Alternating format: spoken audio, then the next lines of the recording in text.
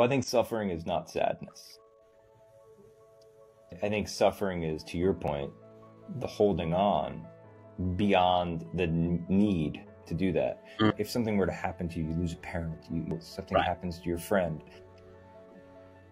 I think some of the, the, the understanding of, of, oh, you let go of the suffering is like you walk in and be super fine with it, you know, and you're like, oh, you're not upset. No, no, no. I've transcended my reality.